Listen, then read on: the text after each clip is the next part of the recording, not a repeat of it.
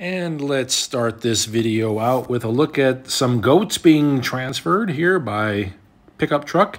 Just another day here in Saudi Arabia.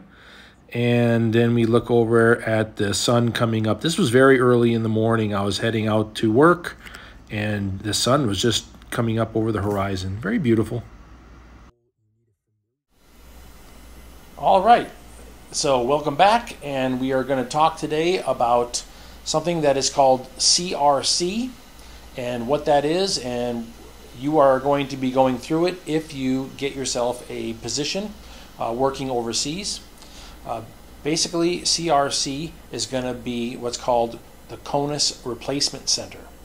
What this means, I'll take you through it step by step and uh, the idea is going to be I know that you may have heard a lot about CRC and uh, you may have heard some rumors about it. I'm going to be giving you exactly what's going to happen, exactly what takes place, and you won't be uh, confused about it anymore. So I hope you get a lot out of this video, and I'll see you in just a few seconds. After years of military contracting overseas, and I'm getting ready to retire, I thought I would pass on the information that I learned over years of working abroad to inspire others to Reach out, check out the world, see the jobs that are overseas, and learn something about yourself. All right. So, hello from Saudi, and I would like to take a moment to talk to you about what's called CRC and what that means for you when you take a position working overseas, uh, especially in the Middle East. First of all, let's talk about contracting in general. When you get a job overseas contracting, uh, you will, if it's going to be someplace like Japan or someplace like Germany or uh, one of the uh, Eastern European nations, uh, many of which are opening up to a lot of great jobs, uh, there will be certain requirements that you'll have to go through to take that job. However, a lot of those positions are pretty straightforward as jobs. And you don't necessarily have to go through any specialized contractor training to go there. You will probably have to do certain certificates online and certain educational trainings to go there. But the Middle East is different. When you go work in the Middle East, you're going to have to go through what's called CRC. And so this is if you're taking a job working in Afghanistan, uh, if you're working in Kuwait, if you're working in Qatar, uh, possibly if you are going to be rotating through those countries from other ones. So if you're working in the UAE or if you're working in uh, Bahrain, but you have to supplement those other locations, then you'll have to go through this training as well. They, they do have situations where you are sort of a backfill person. Someone goes on vacation, you fly in and replace them for a few months, and then you come back out, uh, in which case you will have to go through CRC. The steps are going to look like this when you submit your resume to a company and they uh, go through the online and through the telephone interview process with you, they are going to have you begin what's called onboarding. Onboarding is going to consist of a variety of documents that you're going to have to send, okay, to that company, identifications and certifications. Then they're going to ask you to do a bunch of certifications online. This is training like uh, cybersecurity training, things along those lines online. Things that are like annuals that you have to do. Also, the company may have you take some courses uh, such as how to fill out their timesheet, things like that. After that's all submitted, you're going to start focusing on going to CRC. And this is at Fort Bliss, Texas, in the uh, southern part of Texas. All right. Very hot area, kind of desolate, but you know you're there for a couple of weeks and then you're moving along. And the base is actually quite nice. Uh, the base had a nice steakhouse on it. Uh, there were a couple other places that you could go to eat, and it was nice. I enjoyed Fort Bliss. When you have all your paperwork gathered, you're going to go to CRC. There's a few things that you can expect. When you show up, you're going to have your bags and everything to go into your uh, country that you'll be heading to. All right. So I've done some videos on what to bring and what not to bring. I refer to you on those so you know what to bring to CRC because you're going to be going right through. All right. When you get there, you're going to meet up with a liaison from your company. That liaison will do a couple of things. One, make sure that you have all the stuff you're supposed to have to go in country. Two, they're going to make sure you have the paperwork required, all in order. Three, they're probably going to send you over to get the second of a few shots. Uh, I said in an earlier video uh, about immunizations that you'll have to get two part shots for some of your immunizations. They will take you and get you that second part shot so that you have those complete. And they will just basically make sure that you got everything online to get ready for the next week and a half, two weeks that you're going to go through. While you are uh, with them, ask any questions that you have because generally that liaison has worked in country and one of the Middle Eastern countries and now they're back working in the Fort Bliss area doing this job, this sort of liaison. So you can ask them a lot of questions and you can get answers. Okay after you go through this process with your company liaison, who will probably pick you up at the airport, take you to Fort Bliss, everything, all right, drop you off. You're going to check into a room. You're going to be given a bed and a locker. You want to make sure that you bring two padlocks at least. Make sure it's got the same key. I like to have a little uh, military style chain around my neck that holds the key. Uh, and all the, the padlocks should just work with the one key.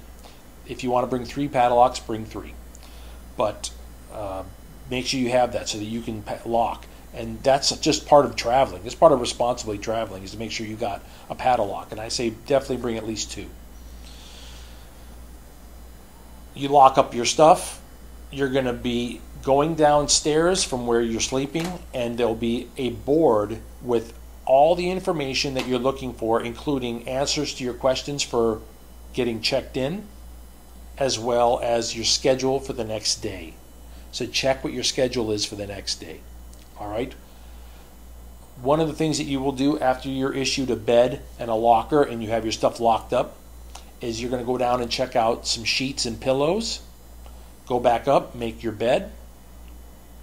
You'll then be directed to where to go uh, for meals. However, I will tell you that the way the Fort Bliss is set up, where you are doing CRC and where you go eat, they're a little ways away from each other, so you need to make time to go walk there to eat so that you get there on time to eat. But the dining facility on base was great. Uh, for myself, because I was kind of thinking about what I needed to get done and everything, and the week was coming up, uh, that week, week and a half is coming up of training. I really wasn't that hungry. Uh, so for me, I had some protein bars and I picked up some sugar free energy drinks at a small uh, cantina that they have that's right there next to where you do CRC.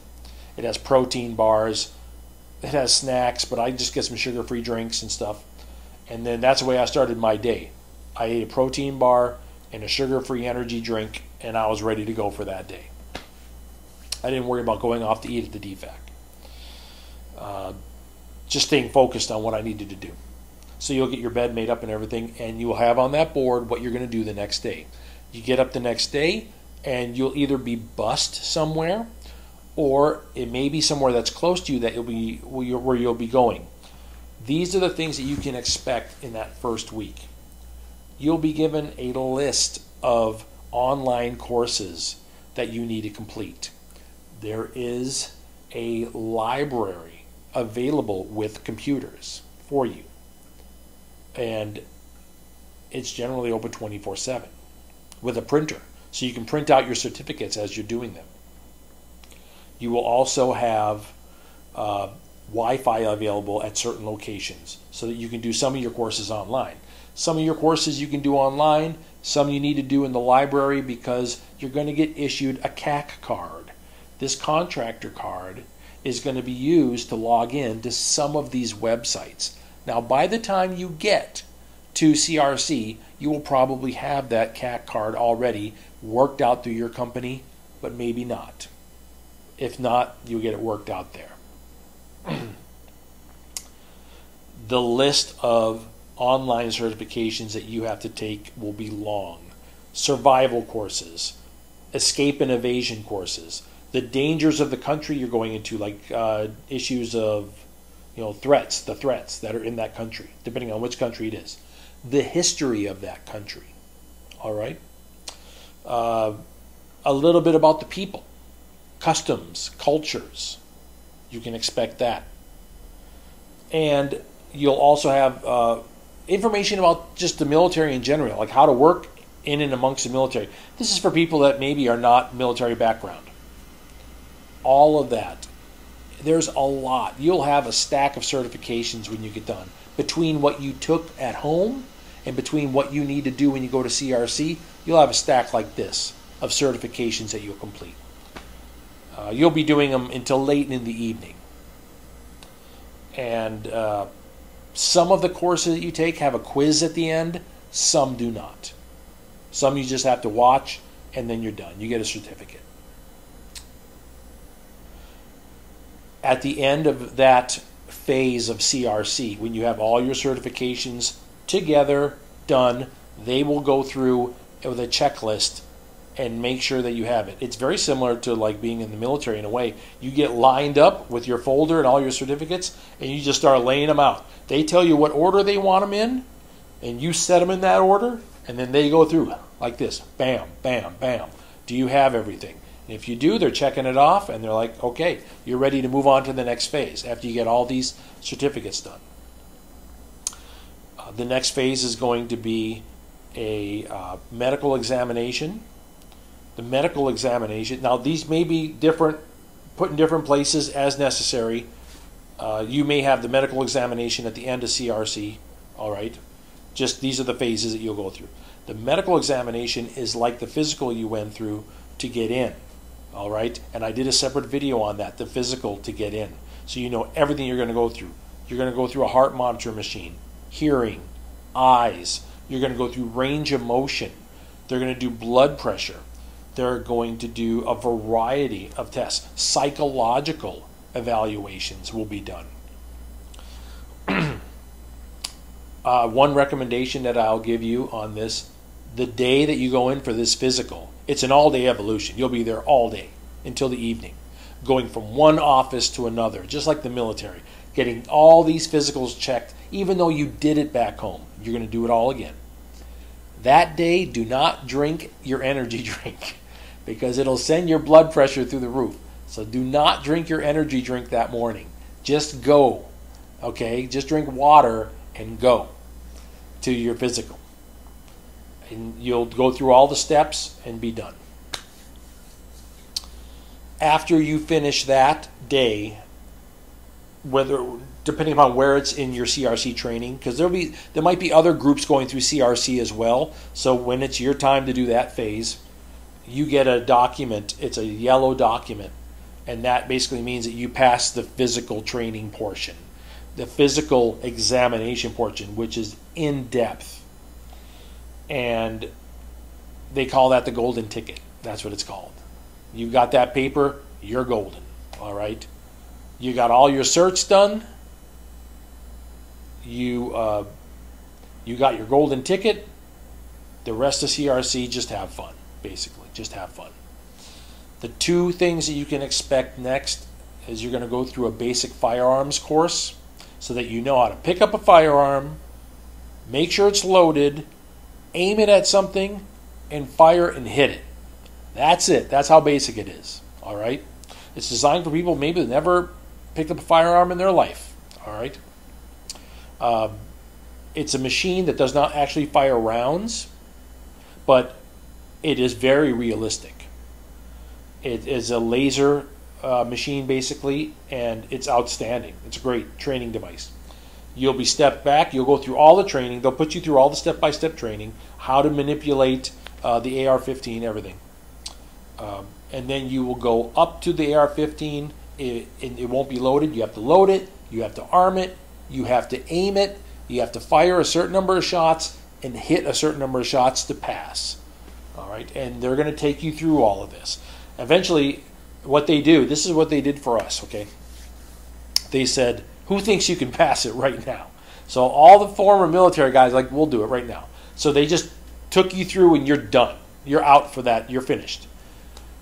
Then they could focus on the people that honestly were like, I don't know for sure if I can do this. They put them through more training, and that way, by the end of the day, everyone's passed and everyone's through. Okay. Then the next day, you're going to go through Humvee rollover training.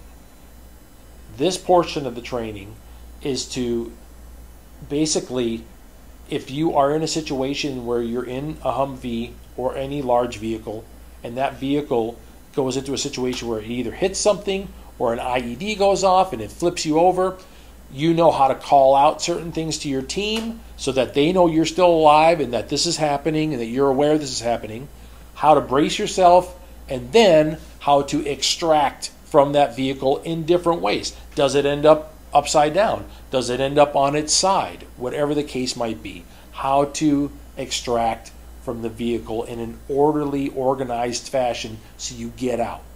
All right? Uh, that portion of the training, uh, it's interesting that a lot of people are very nervous about it. They're very nervous about that portion of the training.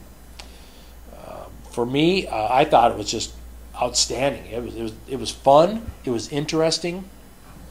And, uh, you know, I, I worked as a diver in the Navy, so we did uh, what's called dipsy dunkers, where it was like simulated helicopters that were going in the water and then turn upside down. And they had to extract underwater out. That was part of helicopter training that the Navy had to go through, Air Force, whoever's going to be as part of a helicopter air crew. We call those dipsy dunkers. And a lot of divers, you know, we work those type of situations as part of your diving career. Uh, and so I thought it was very interesting. I, I really enjoyed that portion of training. After you finish up that uh, rollover training, you've now pretty much gone through all the stages of CRC. Now, if there is a flight ready for you, maybe one or two days away, you actually have a little bit of time to yourself. Don't leave base.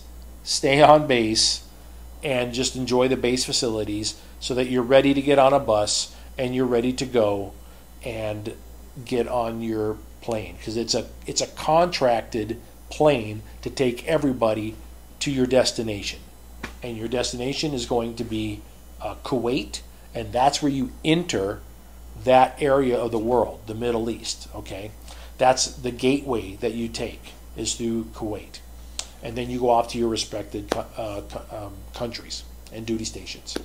And we'll be discussing that in another uh, video. But yeah, just enjoy yourself on base. Don't leave base. And just be ready to go. If you have any dirty clothes that you made while you were there, because you were there for maybe two weeks, um, maybe even one week, all right? If you have dirty clothes, as laundry facilities, get it done. It's up to you. It, everything is there. It's a regular military base, so you have a, a, place to grab snacks. You have a DFAC. You have restaurants to eat at. Uh, another tip: if you're heading to the Middle East, you're not going to have any alcohol. I'm not telling you, but you might want to go to that steakhouse and have that last couple whiskeys because you're not going to have any for six months until your first vacation. All right, so. But I'm not telling you to do that. All right. So I hope this has been helpful. I hope this is the real deal of what you're going to go through at CRC, what it's all about, what the stages are. Uh, so you're not getting any hearsay or any you know random talk on the internet. That's exactly what you're going to do. All right. I think you'll enjoy it, and I think you'll do fine.